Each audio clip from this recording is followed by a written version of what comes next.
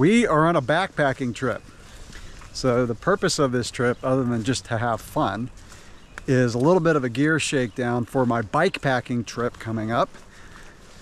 Kind of taking most of the stuff that I'm going to take bike packing, with the exception of bike tools, of course, but everything else I've got my stove, my water filter, my sleep system, which I'll show in this video. And then also Dawson's first backpacking trip. I used to do a lot of backpacking when I was younger, but it's just one of those things that I really haven't done much with my family. So we are at O'Leno State Park, a little bit north of High Springs. There's a lot of trails here. You can mountain bike on them, but they're not really that good for mountain biking. But there's a primitive campsite that's about a three and a half mile hike in. So we're gonna take that, set up camp, and maybe hike for a little bit longer. But we're excited about this. It's a beautiful day. We were gonna do this a few weekends ago and the weather was not good for it. It was super humid, warm with a chance of rain. Today is lower humidity and it's beautiful. It's about 66 degrees out here. It's supposed to get down to the upper 40s tonight. Totally clear and it's a full moon. I love camping under clear skies and a full moon. It really just doesn't get better than that. So that is the Santa Fe River. If you're not familiar with O'Leno State Park, it's where the river goes underground and it comes back up where I kayak a lot. So this is the river sink area. Taking a little detour to check out the river.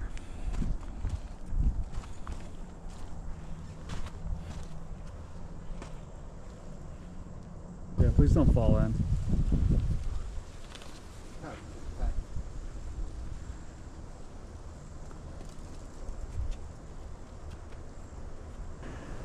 Always has to be a challenge.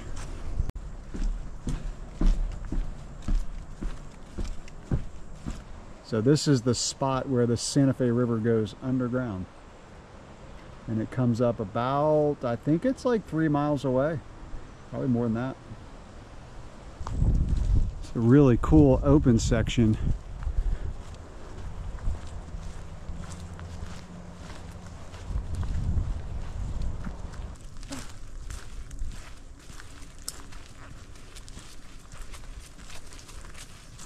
So this is That's Old like Bellamy how... Road that we just crossed. And so Old Bellamy, I've heard it went from Tallahassee all the way to Jacksonville. There's several sections that we do on some of our gravel roads. It's not continuous. Not continuous in these parts. But man, it looks like it. There's a road that went all the way over to Pensacola. Maybe that was the old wire road. That's our trail.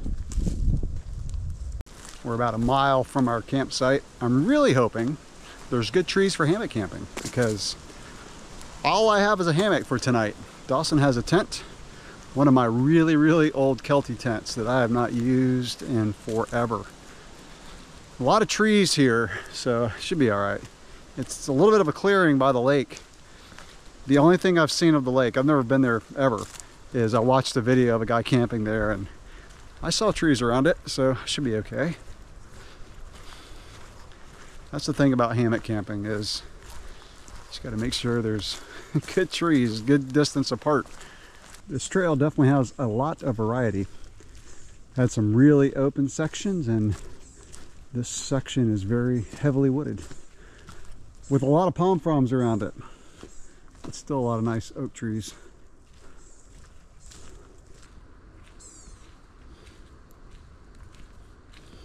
We made it to our campsite that's Sweetwater Lake, just this little lake out here in the middle of the woods.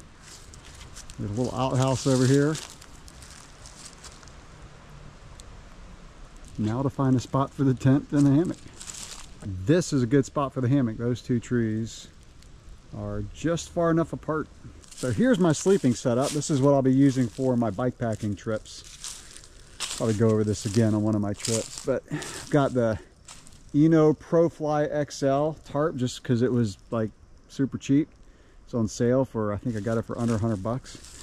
All right, but this is the magic right here. This is the Warbonnet Ridge Runner. Kind of hard to see under the tarp here with the lighting, but uh, this is, I have mentioned this before, the best night's sleep I've ever had in the outdoors. It's got a built-in bug net. I'm gonna zip this open and show you inside. I love, I'm gonna do like a full review on this hammock because it's worth reviewing, but it's got side pockets. They call them, I think, saddlebags. Bridge style hammock, so you don't have to worry about finding the right position, getting diagonal in a you know gathered in hammock. I just can't sleep well in the gathered in hammock. I've got an outdoor vitals pillow that packs up super small. And then I've got an outdoor vitals top quilt.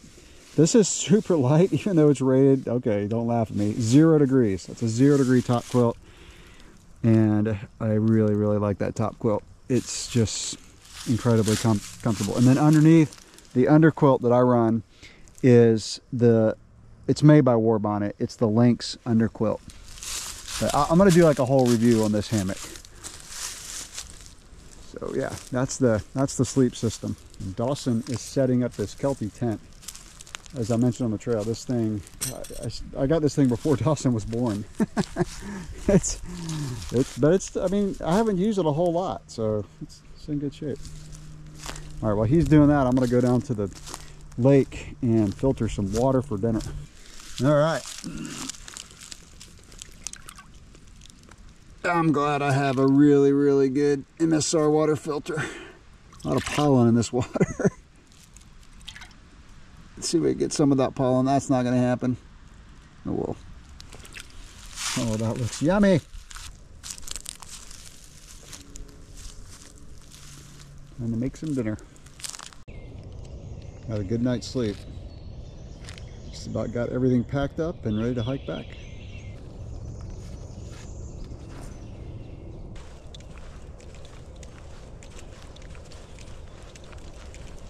We're hiking back and that was a really good gear test for a lot of the things that I'll be using for my bike packing trip. I think the setup overall was great. The only thing that I'm going to change is the pillow. So that Outdoor Vitals inflatable pillow is pretty comfortable, but it's not as comfortable as my Nemo pillow. I have a inflatable Nemo pillow that has some padding on it and that is just more comfortable and I have to have a comfortable pillow. But overall, I slept great. Dawson slept great. It didn't get that cold. Got down to about 50 degrees. It's about 55 right now. I I have that that zero degree top quilt. It was a little warm last night. I have another one that's rated from 40 to 60. I have to add like 10 to 15 degrees to a sleeping bag rating. I sleep pretty cold and so like if it says zero, I'm good down to about 20. That's why I got that zero degree because I've had it down below freezing and I was totally fine. I'll probably use the other top quilt, but I need to test it out. I, it's, I just got it. It was pretty cheap. It's an Eno, uh, I forgot the model, but it goes down, like I said, to 40 degrees.